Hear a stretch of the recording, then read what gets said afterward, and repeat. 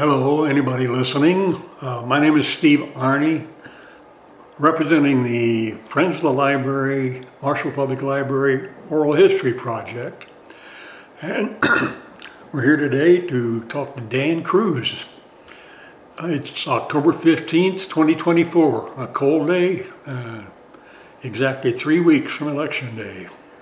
Wow. And uh, I think we'll be glad when that's all behind us. We will be, yes, we will be.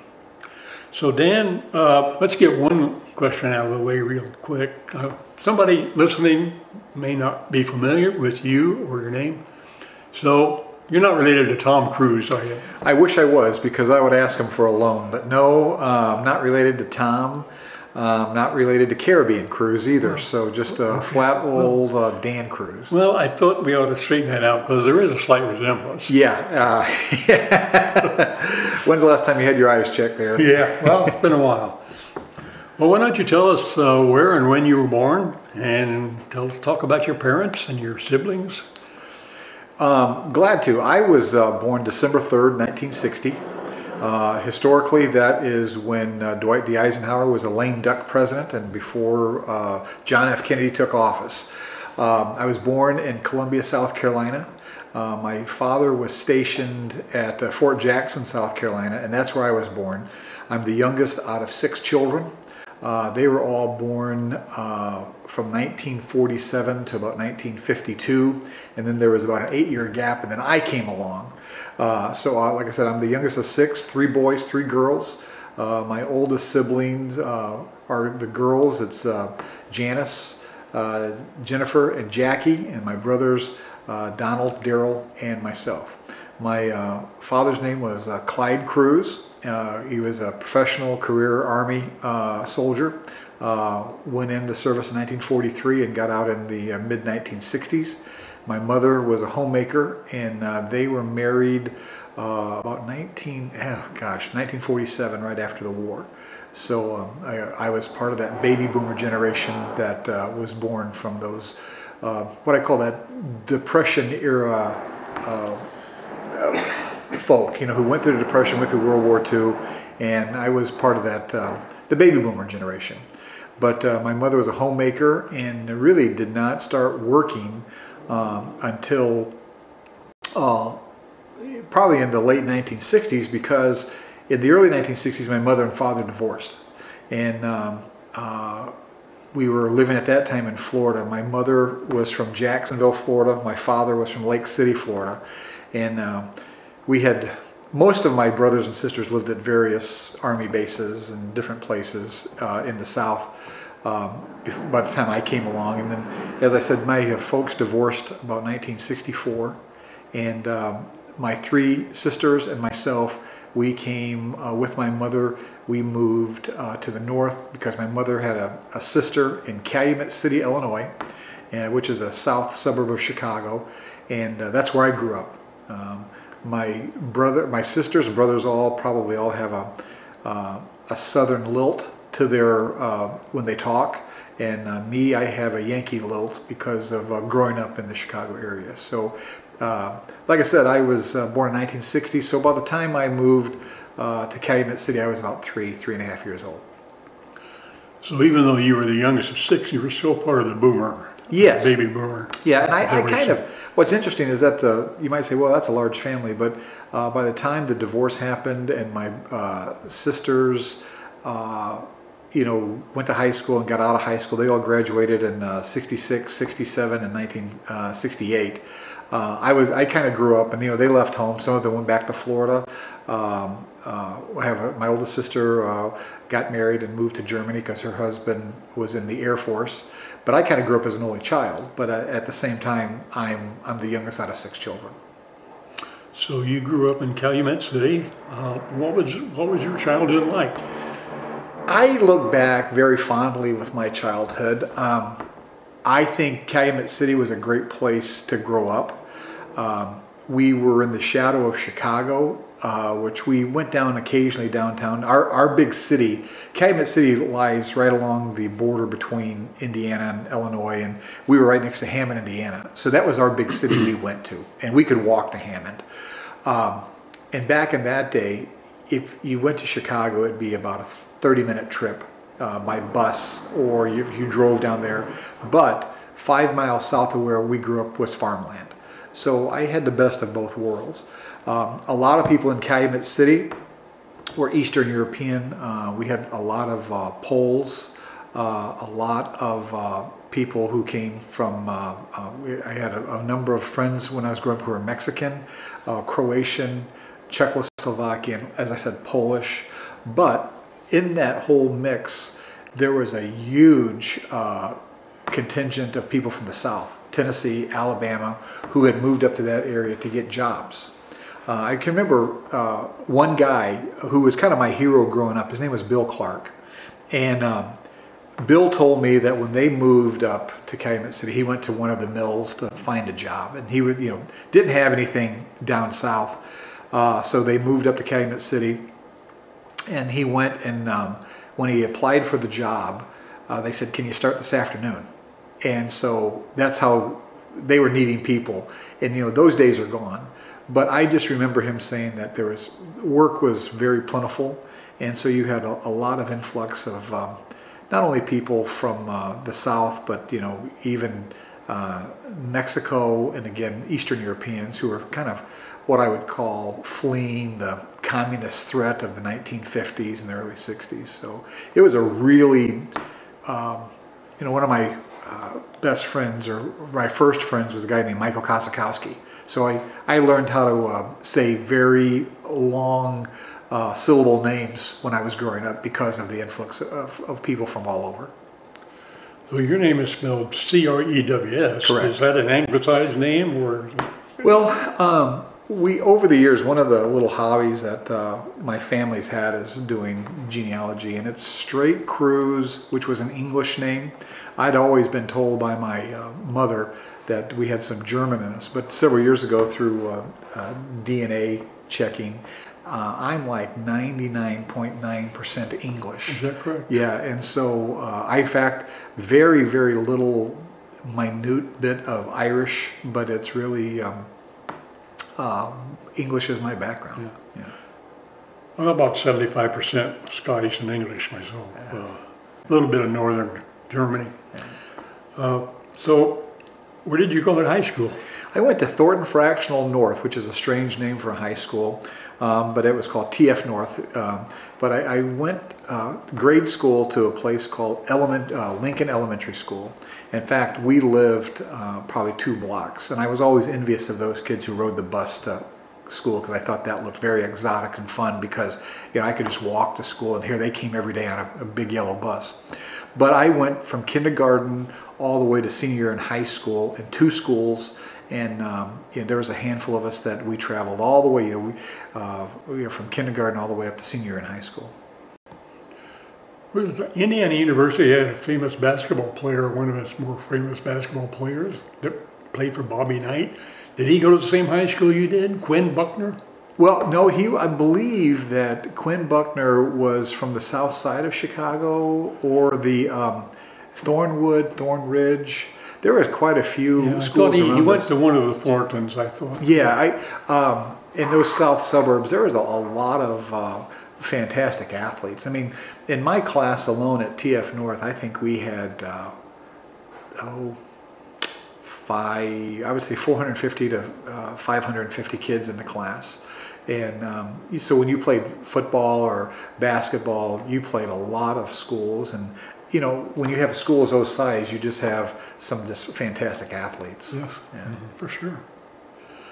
So you graduated from high school in 1978? 1979. In fact, and, and what's funny, it's, uh, that's a great guess because if I would have been born three days earlier, like I said, my birthday is December 3rd, and if I would have been born three days earlier, I would have been in the class of 1978. But I was I was one of the older ones in my class and I had a, a good class. In fact, I'm um, I still am in contact with a lot of the uh, kids, you know, old people now uh, that we went all went to school together.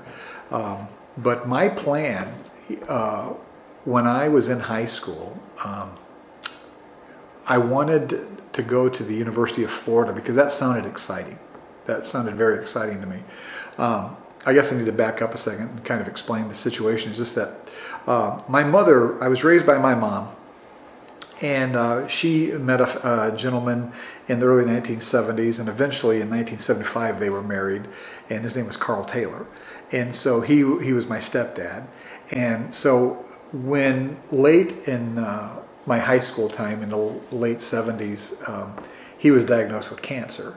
And I really felt um, like I couldn't uh, go to University of Florida, go away from home and so I ended up going to what was then known uh, as Thornton Community College, which is now South Suburban College in South Holland. And I went there for one year. And um, uh, from the time I was probably a junior in high school, I, uh, I worked, uh, went to school and also worked because there was a program called Distributive Education, sometimes known as DE. And uh, they basically, uh, we went to school half a day and then we worked a half a day. And I worked at a company called Edward C. Minas, which was a clothing store. And um, they, they're located in Hammond, Indiana, but also in a um, River Oaks Mall in Calumet City. And um, so I worked and I thought, well, it makes sense to uh, go to school and maybe pursue education and business. Well, it didn't feed my soul because deep down, I've always had a passion for history. I've always enjoyed history, and I thought that I'd like to be a history teacher. So after completion, um, one year at Thornton Community College, I uh, I was taking like economics and business classes and stuff like that, and I just it you know it just didn't do it for me. And God bless those who can, you know, and who who like that.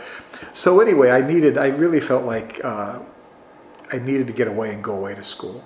And I had some friends that went to Eastern Illinois University down in Charleston. Um, and so I ended up uh, applying, getting, getting accepted.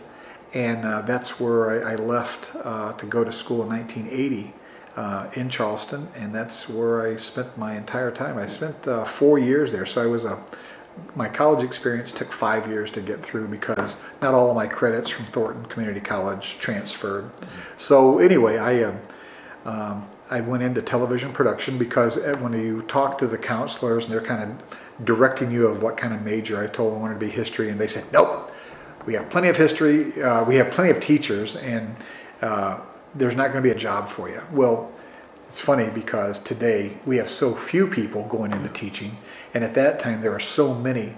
And so I, um, I kind of, I thought, well, what else do I enjoy? And I just thought uh, I was never a really good English student, but I, I thought journalism, you know, that sounded kind of exciting. Knew nothing about it. I was not on my school paper in high school, but I just thought it, it sounded sexy, you know. So I ended up. Um, becoming a journalism major. And while I was at uh, Eastern, they, they built a radio and television center. And so I kind of drifted off into the, um, the communications area, television production, radio production, and um, did that. I, so I had a double major by the time I graduated of journalism and also uh, communications.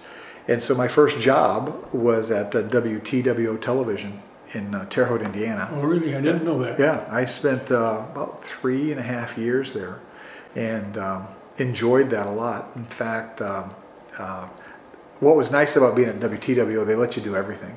You know, you and so anyway, I I hadn't graduated from college yet, but my internship was over, so I went back to Calumet City, and waiting to go back to Charleston to graduate in May and I got a call from the TV station, and uh, one of the people there had uh, quit, gone back home, uh, someplace on the East Coast, and they asked me would I be interested in her position, and I said sure, you know. So I basically had a job uh, when I walked across the stage to get my diploma, uh, my undergraduate degree. I had a job at, at uh, TV2. And so that's, I began a career in television where I started off in what's called a continuity department, which I worked with the sales department and I helped uh, make commercials, organize the commercials, schedule the commercials. And then I eventually got into, um, uh, I never wanted to be on air. Uh, that was not one of my focus, but I liked being where I liked working in television. And then I eventually became um, a salesman and I was in the sales department and um, I just thought I wasn't making enough money, so I jumped out of television. I worked for the Bemis Corporation uh, in Terre Haute. I was hired with uh, about 12 other uh, people to uh, kind of run their new concept of telephone sales. And uh, this is uh, by after well, our training program, and after about uh, nine months, I just didn't, I wasn't feeling the passion, but I was salesman of the month. And I'm uh, the guy that hired me. He was let go from the from the company, and we had a new boss there, which um, let's just say I was not. I didn't have a lot of respect for him, and so anyway, um, he ran things completely different. I really uh, admired and loved the guy that hired me. I thought he was terrific. And so anyway, I was salesman of the month, and uh, I got called into the office of the new boss, and he said, um, "Things aren't working out. We're gonna have to let you go." And I got fired from uh, that job, and uh, I took it very hard for a good 24 hours, and uh, then I realized, you know what, I hated that job, and so I realized he did me the biggest favor.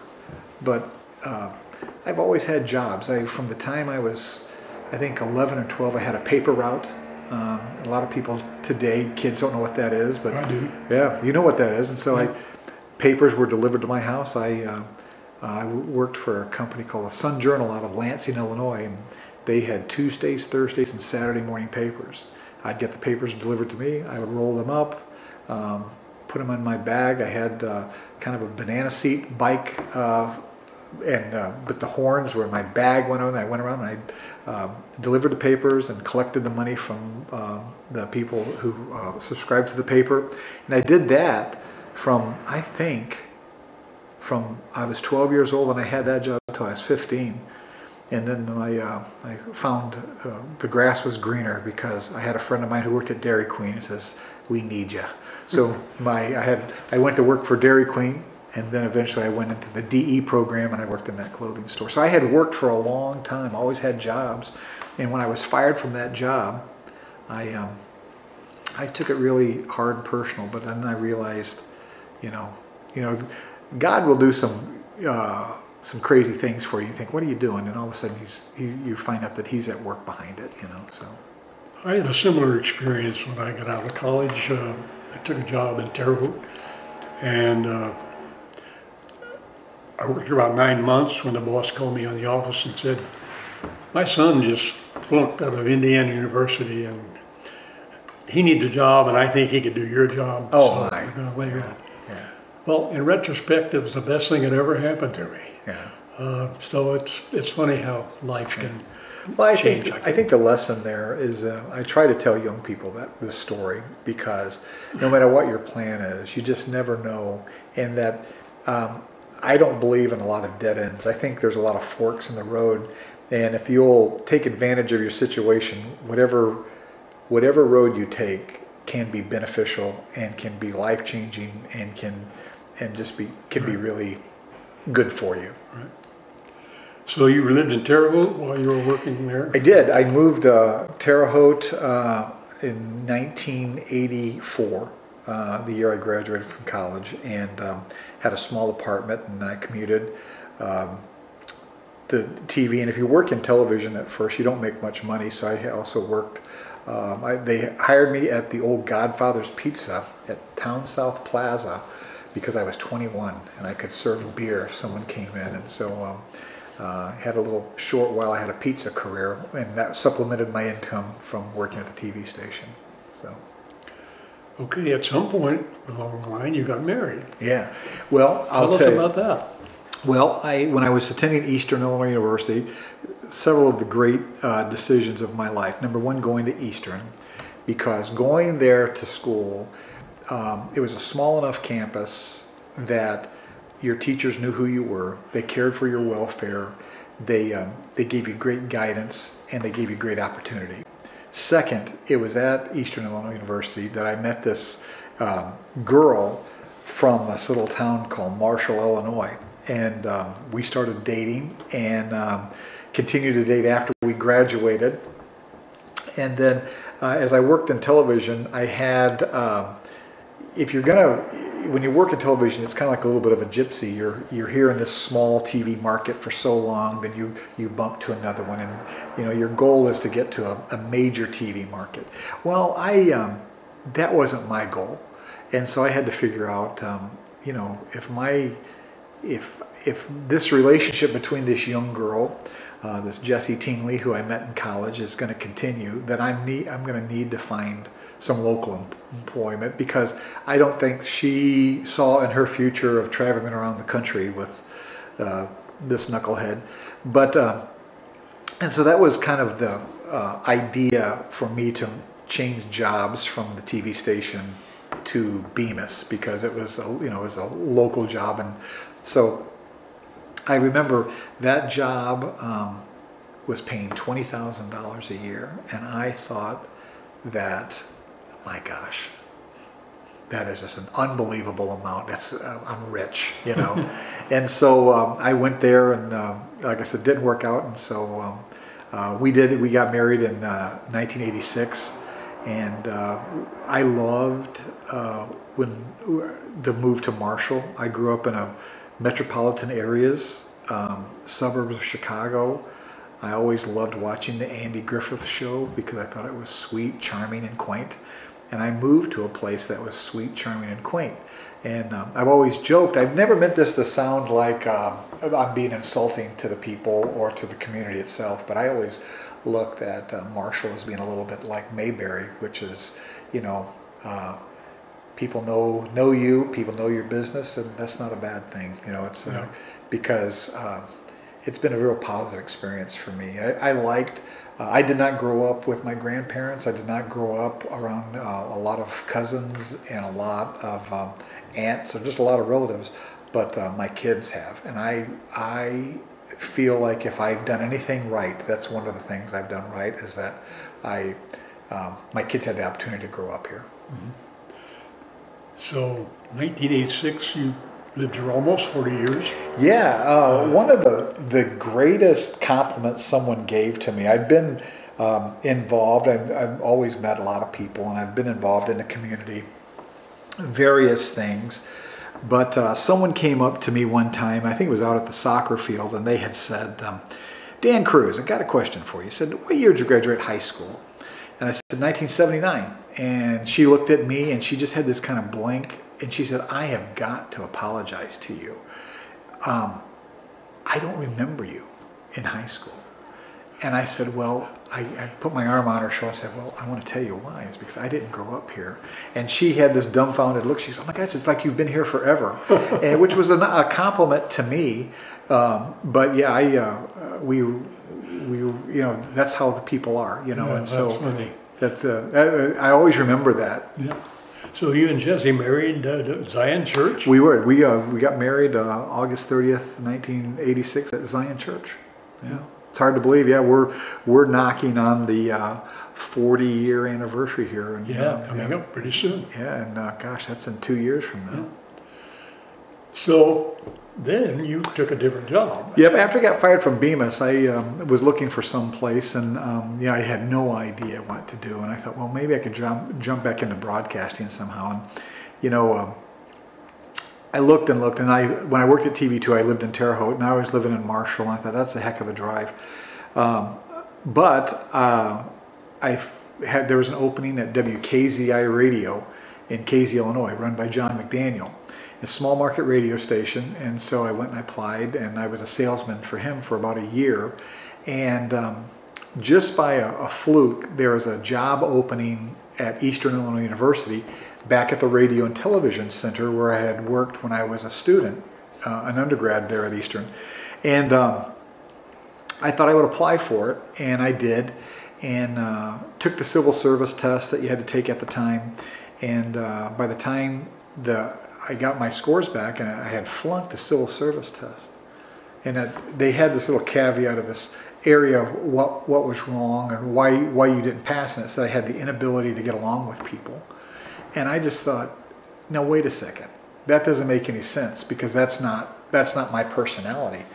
So I went and she said, now you have to understand. Uh, I, I, questioned why I flunked the test, and she said, um, uh, you have to understand this is kind of a standardized test. It's a you know it's it's a state test. And it was an oral test. It, it, what's that? Oral test. No, it was a written test. Yeah, it was kind of like you just circle in, and they, somehow they had some kind of schematic that kind of figured out what you did wrong. So um, she said, I'll t- I, I looked and she goes, it's not that you you gave bad answers. It's just that there was of all the pages, there was one page where there was question, and it was a timed test. And I, I thought I had done it in the required time, but there was answer or there was question in the back of um, one of the pages, and I didn't answer those. So the scorer read that as I was refusing to answer questions. Oh, my goodness. So they had said, they said, okay, you can take it again. And I said, okay. So I did it. 30 days later, I took it again. And um, by that time, the job at, at the Radio Television Center was taken. So there was there there wasn't anything there. But they said, but there is an opening in the College of Fine Arts, and they are looking for a publicity specialist. And I said, well, I've never done a lot of publicity things, but you know, we covered public relations work in college and stuff, so I could probably figure it out. And um, they wanted to know if you uh, are skilled in computer work, and I really wasn't. I didn't have any community, community or I should, computer knowledge. So I, um, I went for the job and um, ended up being, again, a door opened for me that I had never expected. I basically um, spent 32 years. I retired from that position uh, about three years ago, and um, that position grew over the years to where um, I was handling publicity. I ran an internship program. I was the director of a um, an arts festival. I got to teach classes. Uh, I wasn't a full-time teacher, but I would teach one class a semester. So one semester I did teach two classes and I loved it. it. I had a boss. My bosses have all been amazing people, and uh, unfortunately, over the years, I've I've got to um, see them pass. But they, I can never really fully. Um, I always let those guys know, those my old bosses, because they were they were bosses, but they were they also became very good friends, and I let them know how much that they changed my life. And um, well, guy who initially hired me, guy by the name of Vaughn Jaenike at the College of Fine Arts. He was the dean of the college, and um, he gave me opportunities that I will forever be grateful for. And um, I, I, had, the, I will tell you this: um, out of all the people in the world, Steve, I want to let you know that of all the people in the world, I had the best job in the world.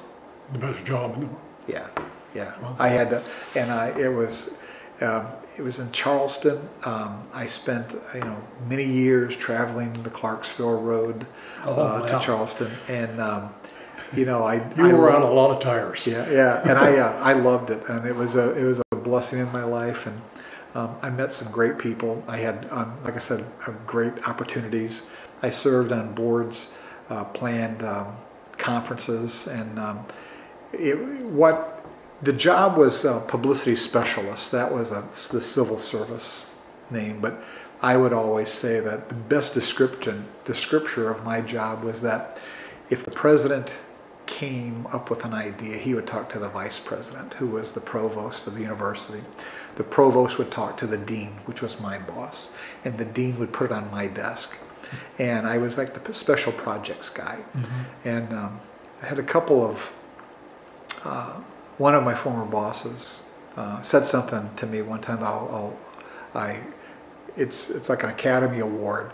Uh, it's a, a, great honor. He just said, if you're ever going to be in a foxhole, uh, Dan Crews is the guy you want in your foxhole with me. Boy. And that was an honor that you know. quite a compliment. It was quite a compliment, and so I, um, I, I just had a great job, and it was it was.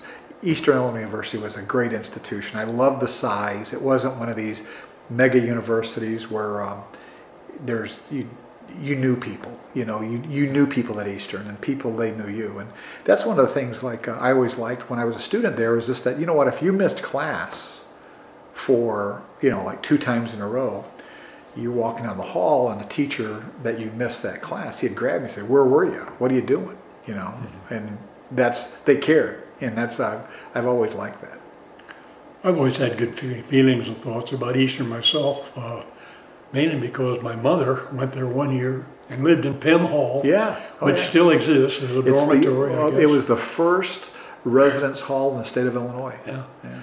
And then I was fortunate enough to meet uh, my wife, Carol, who was a, a attended Eastern and graduated from Eastern.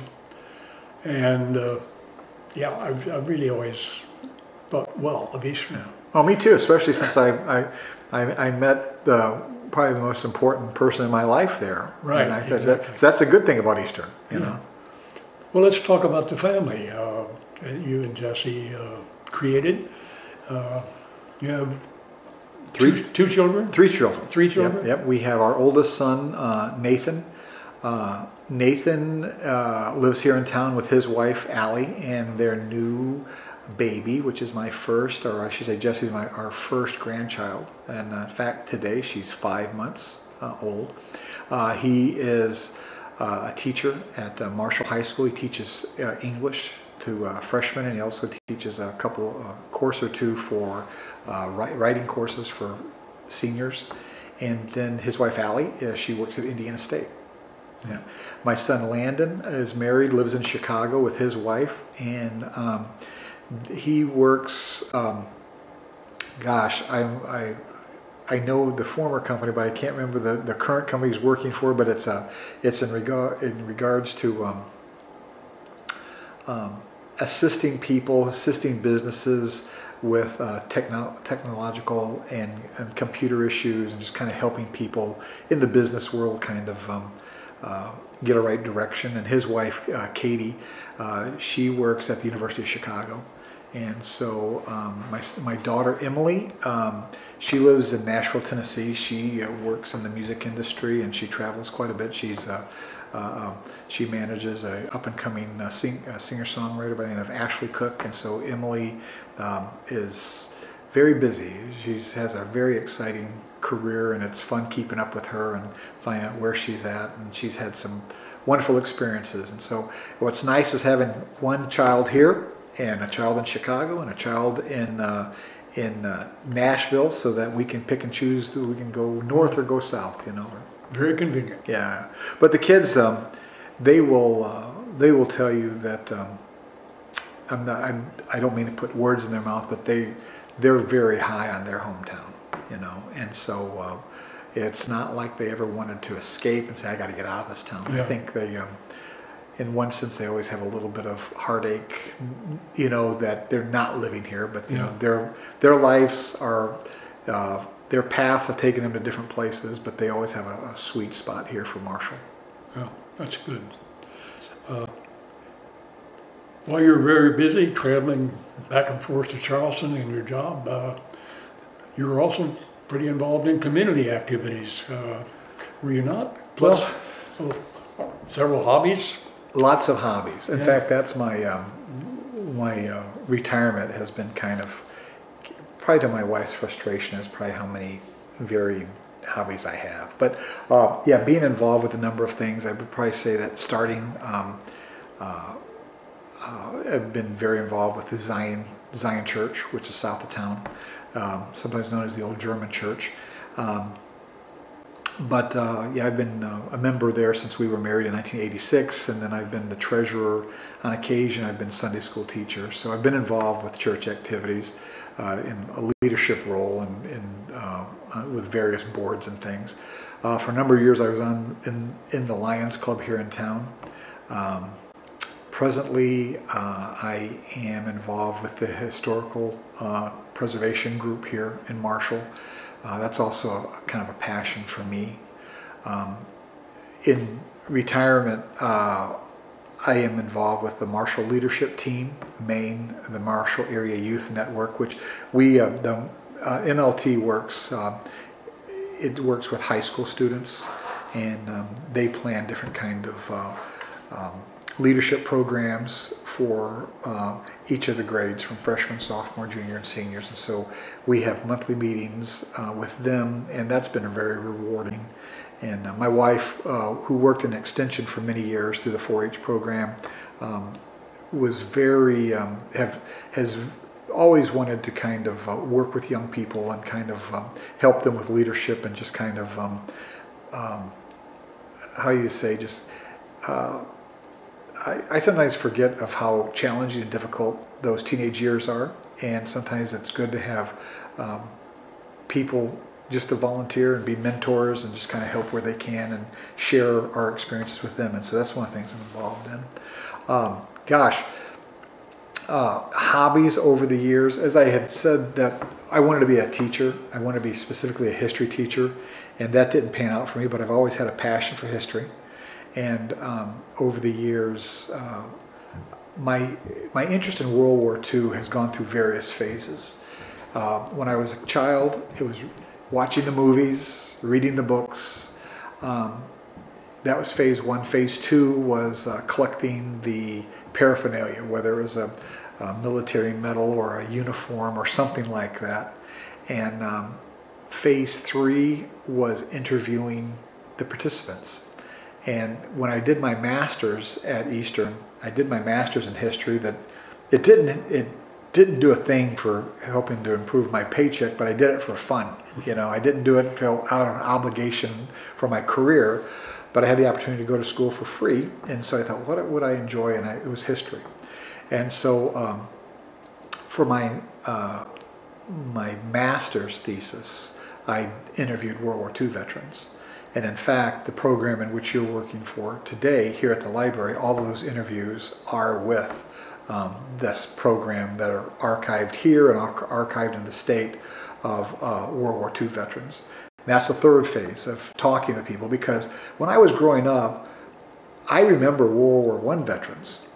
And everybody was a World War II veteran when I was growing up, it seemed like, you know, and, but, um, you know, now today, we have very few World War II veterans, right. no World War I veterans, and um, I wanted to get some of their stories while I could. And uh, all those people that I interviewed for my master's, they're all now deceased. And that's the third phase. And the fourth phase is going to the places I've read about. So I've uh, taken probably oh, four trips to Europe, um, going to uh, Normandy, uh, going to Bastogne for the Battle of the Bulge, the D-Day invasion areas. The one place I haven't hit yet, it's on my bucket list, but um, my father was a World War II veteran, as well as my stepfather. And uh, my father went uh, from uh, Casablanca, North Africa, to Sicily and to, up to Italy. And that's that's a trip I'd like to take. Mm-hmm. That's on the bucket list. Of it'd be a good trip. I'd, i think I'd like to get uh, my stepbrother and I um, to do that trip sometime. It'd be kind of fun. But um, that's and I still I'm still uh, collecting uh, military items to this day, specifically European, what we call the ETO, the European Theater of Operations. I'm, um, uh, although I'm, I'm slightly interested in what happened in the Pacific, uh, what happened in Europe is big enough and right. takes up a lot of my time. But, uh, but like I said, history is uh, kind of a passion. So this uh, two years ago, I got to go to the Little Bighorn for the first time, and um, my favorite battlefield here in the United States is probably Gettysburg. Yeah, and uh, I think so too. Yeah, it's my favorite. Uh, one of the places in Europe you might want to visit if you have not is uh, the cemetery, the U.S. cemetery in Luxembourg. I've been there. Yeah. Oh, have you? Yeah, I sure have. Yeah, it's okay. where uh, Patton is buried. Where General Patton was yeah. buried. Yeah. Right. In fact, uh, several years ago, cousins of my wife, the Guard family, Danny Guard and his sons, uh, Seth and Jacob, along with my sons uh, Nathan and Landon, we were there and we were able to we wrote we raised the flag there at uh, at dusk mm-hmm. at that um, in Luxembourg. Yeah, I've always thought the inter- the story about why Patton is buried there is he was killed, I think, in Austria you know, in a car wreck, but he wanted to be buried with his troops. Right. So I guess many of the uh, Battle of the Bulge uh, uh, guys that were killed uh, in the Battle of the Bulge are buried there in that cemetery. It's a it's an awe-inspiring event because you look at those guys and you know there's just not a couple of dozen crosses there. There's just hundreds, hundreds of crosses there, and, and that's just one battlefield out of many. And you just think of all those guys. On the average, they were the ages of uh, 18 to 23, mm-hmm. and all of those guys. I, um, not to be over dramatic, but all those guys there and girls, women, um, they gave all of their tomorrows for our today. You know, so I I, I have a, a, really admiration and uh, I have deep reverence for that place. I've heard that you have a whole room filled with paraphernalia. I do. World War II. I do.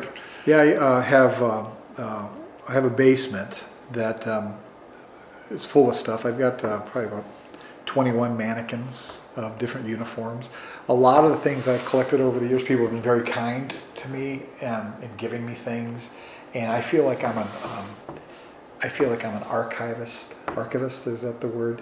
And that uh, especially uh, from people from uh, Clark County, Marshall, uh, people have been very kind because either their kids don't want it or they don't know what to do with it, and they say, well, um, Dan will take care of it. And so I have a number of uniforms from local veterans here that um, I, I cherish and I really highly respect.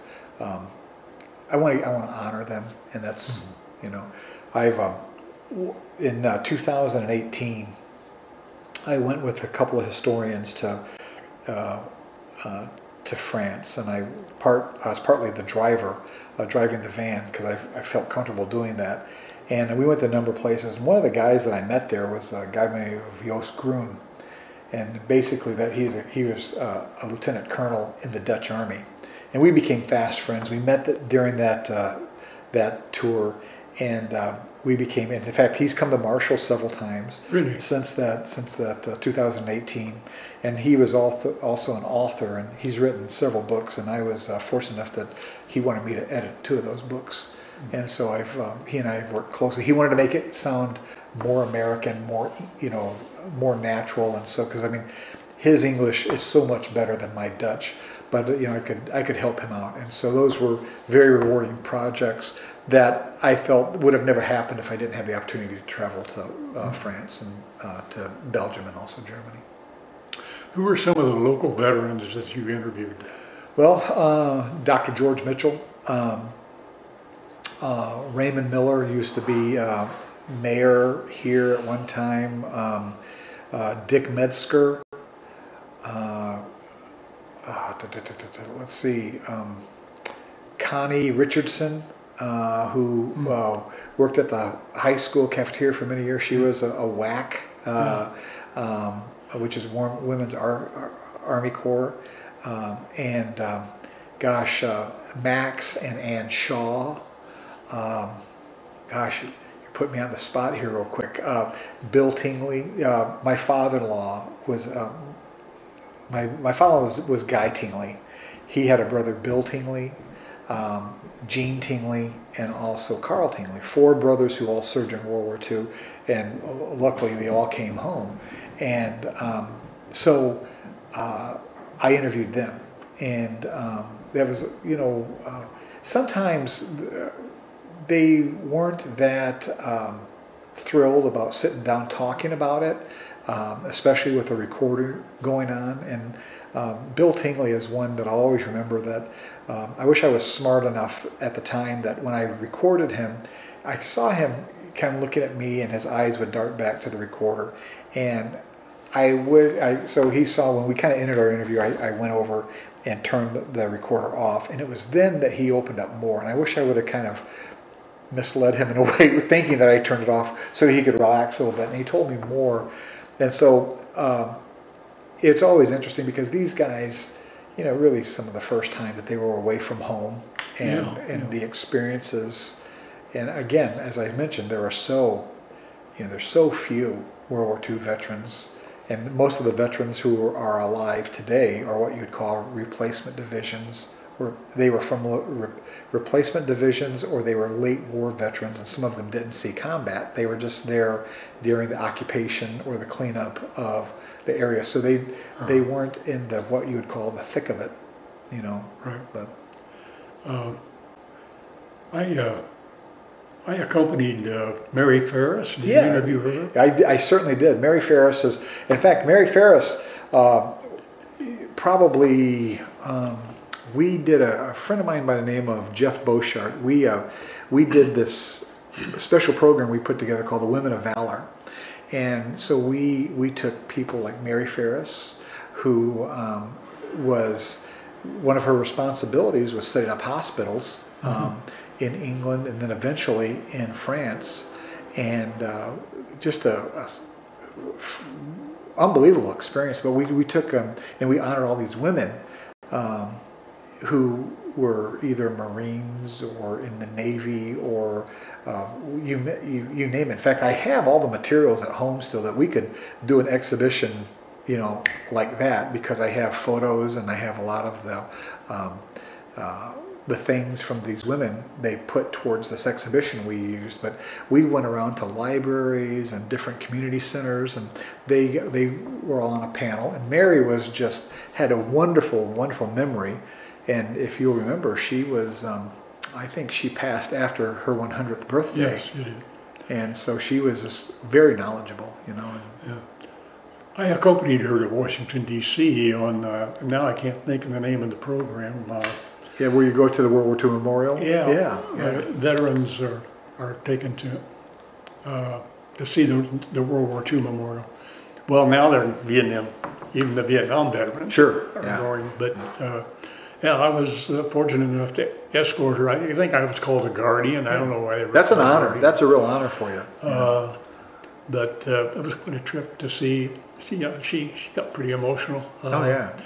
She she told me a story one time that um, that they knew the invasion, the D-Day invasion, was going to be happening at some point. point, and leading up to that, you know, there was everyone was on pins and needles, and Mary said that she was in her in the tent where she was at, and uh, on the, wherever base it was, and she was laying on her back, and she was sleeping, and she heard the planes, and so that was the paratroopers that were leaving to head over to the jump, and she said it was, you know, it was around midnight, and they, the, you would hear planes and cars and trucks all the time, but on this particular night, the, the night of June 5th or early June 6th, 1944, she heard a, pl- she heard the planes, and they everyone knew they, the women in the tent, they all got up and they were all just kind of on their elbows, and they said, "This is it."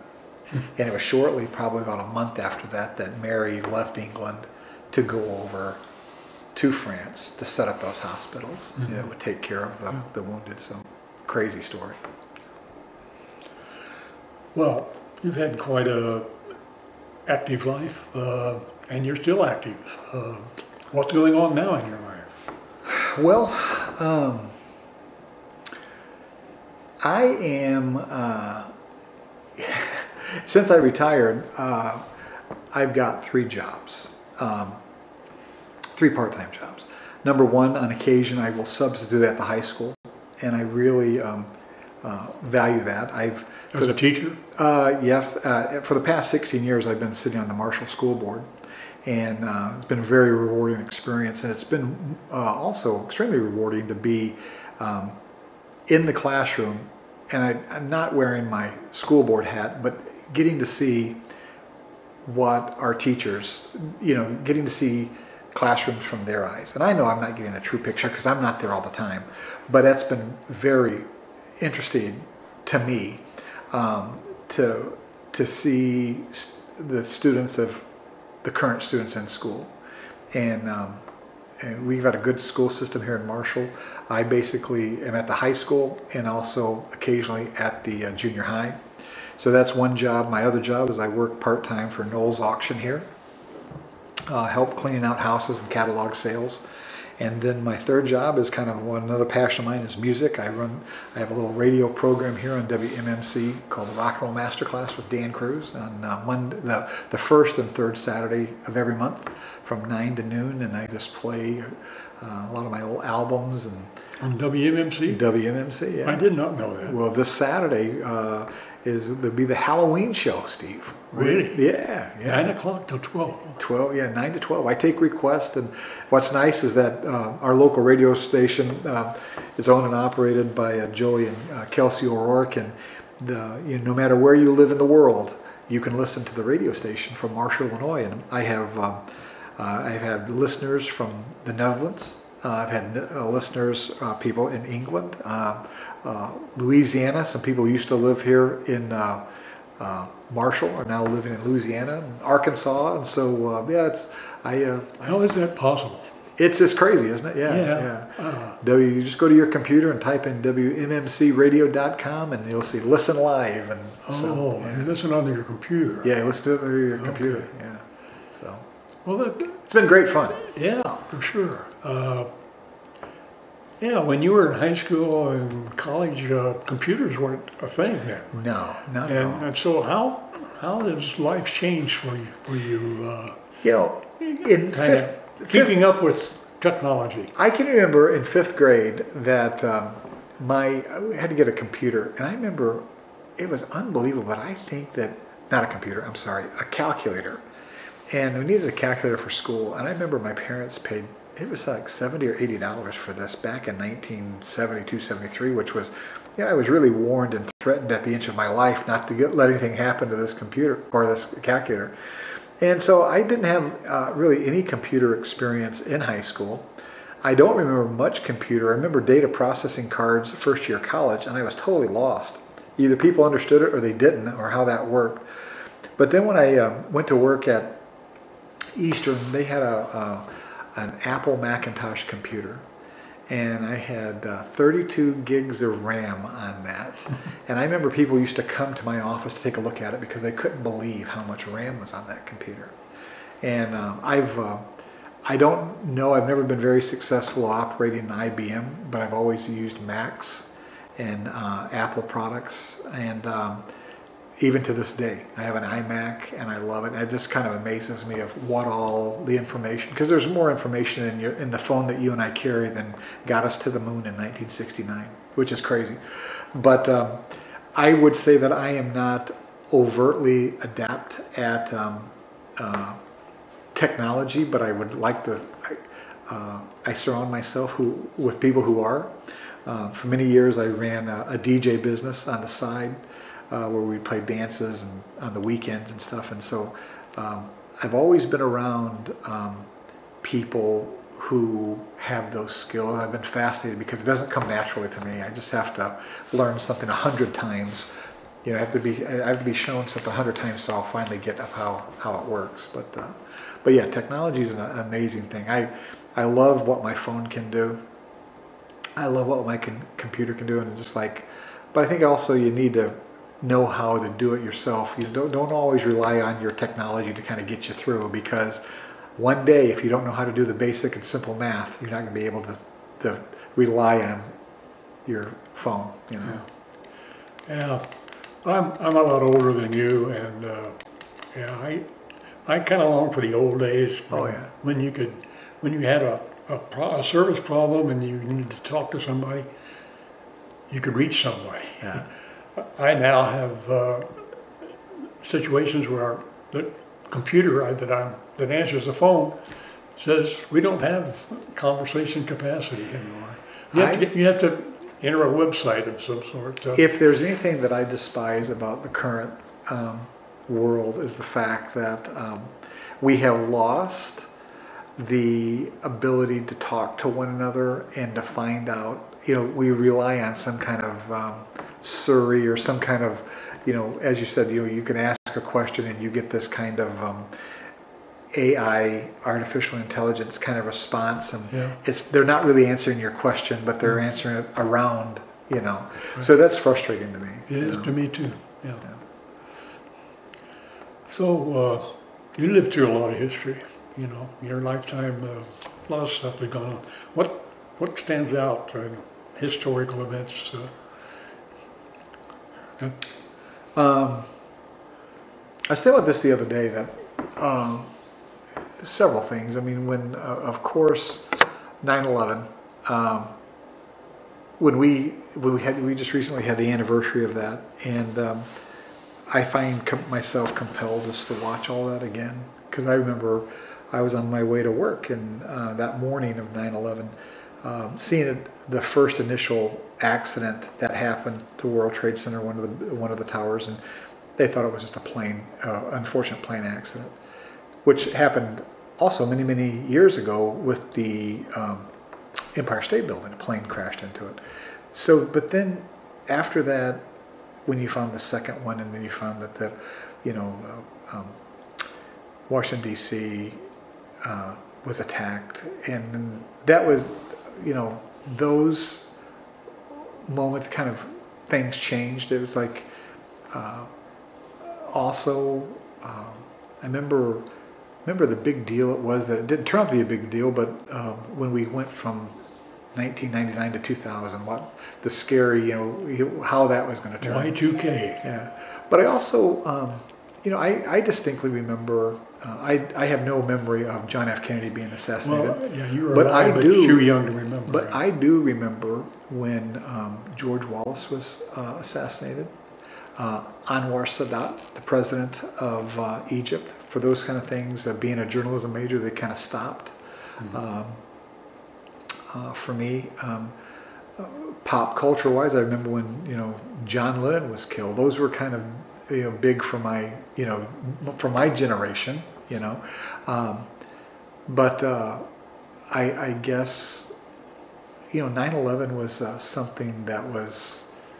Uh, I guess it made me think that we're not as safe here in the United States as we used to be. You know, as the world has uh, gotten smaller because of technology and also the the amount of people and you know everybody's vulnerable and I think that's the thing that um, I realized at that point is just that we are all vulnerable. For many years, the United States, we were so separated from the rest of the world that things couldn't happen to us. I mean, you know, historically wise, it was when they when Pearl Harbor was attacked. It was still Pearl Harbor was far away from the mainland here, but it seemed seemed so far away. But then when 9/11 happened, we just knew that um, it could happen. You know, I can remember being a little bit scared because of um, we lived in near Chicago, another big city, and also we lived next to one of the biggest refineries in the entire world, just several miles south of Marshall, that could be a target. You know, so, but yeah. Um, well, you were you you were just a kid during the Vietnam War. yeah, So uh, yeah. none of your relatives, uh, your dad or My dad was out of the service at that time, but my two older brothers um, were in Vietnam. They were? Uh, my oldest brother, Donald, uh, was at Hue uh, in 1968 during the Tet Offensive. Yeah. And then my brother Daryl was in Vietnam in uh, 1970 and 1971. So um, the Vietnam War did, you know, hit our family because uh, I had a brother-in-law. My sister's husband was in Thailand at the time, and then my other sister, her husband, although he wasn't in Vietnam, he was sent to England. But all of that military experience, you know, it was during that time when there was a lot of uncertainty. yeah. Um, but yeah, the um, yeah the Vietnam is it's hard to believe that that has been gosh from Vietnam into 1975. So it's you know, we're looking 50 years ago. You know, it's I was just thinking the same thing about 9/11. That it's coming up on a quarter of a century here yes, it is. ago. Yeah. Hard to believe. Yeah.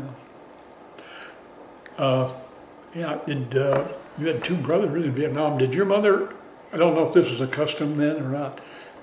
Did they have banners that they hung in the window that were stars? We, we, did, we did not have one, but I remember neighbors across the street. In fact, our neighbor, um, uh, she had a, star, a flag with three stars, and just down the block was a woman with a single star, and it was a gold star. So she was a gold star. So Oh, she, yeah. she lost a child there Yeah. in, in Vietnam. I ask because, uh, like you, I was the youngest of five by a long shot. And my two oldest brothers uh, served in World War II. So I remember my mother had uh, a banner with two blue stars, and then later a gold star because her son in law, my, my sister was the oldest in the family. Her husband was drafted in May of 1945, and right after basic training was sent to Okinawa, Oh, and he was killed in the battle for Okinawa. oh So- gosh! It's so, and so in so close to the end of the war. Yeah, you know? exactly. Uh, it was. What's funny, uh, uh, not funny, but um, interesting about that is that my boss, the guy that hired me at Eastern, his older brother was also killed at Okinawa. Oh well. Yeah, you know. So it's just, you know, it's. Um, I can't imagine. Uh, you know, I, I I think of my kids and um, love my kids to death, but I also. Um, it, it's funny when you look at your grandkids how much um, love and compassion you have for them, and you just don't want to ever see them to be hurt Yeah. and how how gut wrenching and how do you ever process that as a parent you know and god bless those who um, who are forced into that situation. It's very unfortunate and very sad. You know? Well, uh, we've talked about modern conveniences and how they've helped your life. Uh, know, we're, we're sitting in, in 2024, and I got to tell you, Steve, I'm still crazy impressed with the fax machine. And the fax machine's been around for 40 years, you know, but how do you, you know, so it's like some of the technology today, it just kind of blows the mind. I mean, it, you know, as you had, had alluded to, it's interesting how someone can listen to the local radio station living over parts of the world. But I remember what a big deal it was back in the late 60s when uh, my mother would try to talk to my sister who was living in Germany at the time. And I can remember when we would talk on the phone, they sounded like they were so far away, and there was an occasional beep, which was that uh, undersea transcontinental line that they were using for phone. And you know, today I can I I will talk with my friend in the Netherlands, and it's like he's in the next room. It's just the technology is just crazy. You know? So we live in a, you know, I sometimes I I I yearn for the uh, the good old days, but I'm telling you what, there's the things that are in our life, whether medical things or just technology and convenience things. It's it's amazing. You just wonder what could possibly be next. yeah. Kind of scary. Yeah. Oh, absolutely. Uh, anything else you have in mind that uh, you wanted to mention? I was just going to say, um, uh, when you had contacted me about uh, see if I'd be interested in this, you know, I was just kind of like, I have, I have nothing to say, but I do thank you for the opportunity to sit down and talk with you a little bit about this because um, my wife was asking me, well, how are you preparing? I said, I am not. I just want to kind of be as candid and straight, and I have no idea what we're going to talk about, but um, it's been a, it's been an honor to sit down and talk with you. Well, uh, I actually sought you out. Uh, you actually don't quite, quite fit the criteria that, uh, that kind of applies to the project in terms of when it started. You know, they wanted uh, people who grew up and lived in Marshall for a long Sure. time and could talk about the old days. But uh, I, I wanted to talk to you because I find you a very interesting person and someone who uh, grew up elsewhere, but uh, uh, you've immersed yourself in uh, in Marshall and uh, the community and raised your family here. And I It's- thought it, It's it been a privilege. It needed to be passed on. Well, I want to say uh, this just that one of the things that I have done when I taught classes, and on occasion when I get afforded the opportunity to, to, to speak to our, our students here at Marshall High School, and I say this to anybody that um, the road that will bring you to Marshall will also take you to any place else you want to go. And I encourage people, uh, I've always en- encouraged students, I said, you know, before you get bogged down in a job, and before you get bogged down, and I should say bogged down, before, but before you have the responsibilities of uh, a spouse and children, I said, see the world. It'll change your life. I agree. And, um, travel and, uh, and go to the center of town someplace and sit and just watch it and, and soak it in. And I said, then you will come home and you will appreciate and love your community more than anything. Not because we're better, it's just because you see how other people live. And so I just really um, think that's important to um, get out there and um, this is every place you want to or you ever dreamt about going, you can go to. And those, like I said, those roads will also bring you back home. Yeah, I totally agree. Uh, when Carol and I retired, I lived in DuPage County, uh, earned my livelihood there, and uh, when we retired, we decided to move back to Marshall instead of Florida or wherever we retirement people go, uh, just because, like, I read the newspaper about what was going on in Marshall at the time and how uh, programs like Maine and uh, uh, Main Street and so forth were going on, and I thought, well, Marshall sounds like it's uh, trying to keep from winding up like some of the other little towns Yeah, around there yeah. that uh, just don't keep up and eventually fall apart.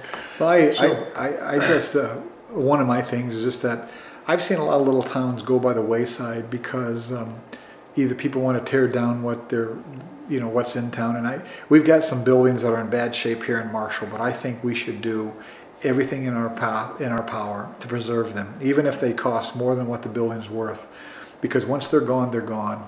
Your history is gone, and you can say over there is where this building used to stand. But I um, that's one of the things why I'm involved with the historical preservation, because um, you're beginning to see, and people are beginning to, re- you know, receive the reward of saving our, our community, because um, there's a lot of communities that their past is gone, and there's nothing that they can do to bring that Yeah. back. Yeah. So Yeah.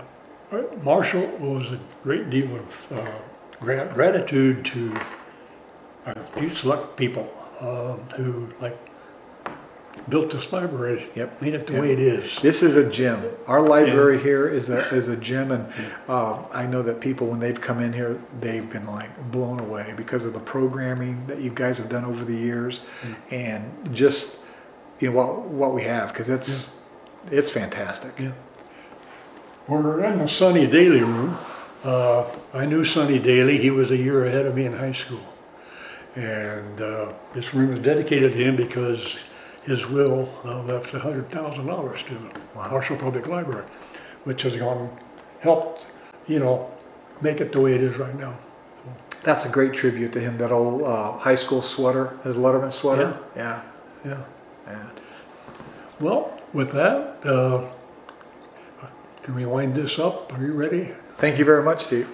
Thank you. Let's see if we can turn this off. Push the square button.